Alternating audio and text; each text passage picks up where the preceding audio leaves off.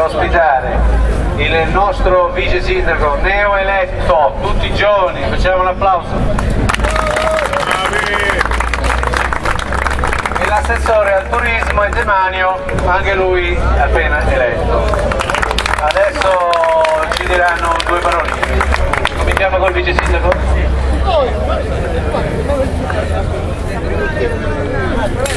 Buongiorno a tutti, grazie soprattutto al, al Presidente per aver organizzato questa manifestazione.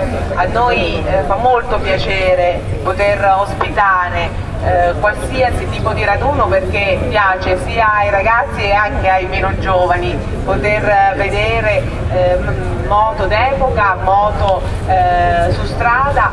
E quindi io appena diciamo, mi è stato proposto ho detto subito bellissima iniziativa anche perché nasce dal cuore come tutte le manifestazioni che nascono eh, dal cuore, volute, si riesce sempre anche con pochissimi fondi a portare